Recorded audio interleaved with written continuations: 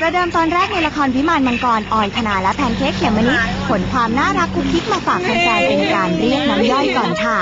แค่บรรยากาศท้องทะเลจังหวัดตรังซึ่งเป็นสถานที่ถ่ายทำก็ว่าสวยแล้ว ยิ่งพระนางพร้อมใจกันโชว์สเต็ปแดนซ์ได้น่ารักน่าหยิกจริงๆ โดยเฉพาะออยธนาสวมวิญญาณนักร้องเก่า งัดท่าเต้นประจำตัวมาสู้กับแพนเค้กเรียกว่าทั้งร้องทั้งเต้นกันจนลืมเหนื่อยเลยค่ะ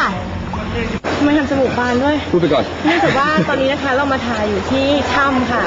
แล้วก็ต้องออกสเต็ปกันนิดนึงพี่อาจจะเหนื่อยกว่าเพราะว่าสเต็ปเยอะกว่าเยอะมาก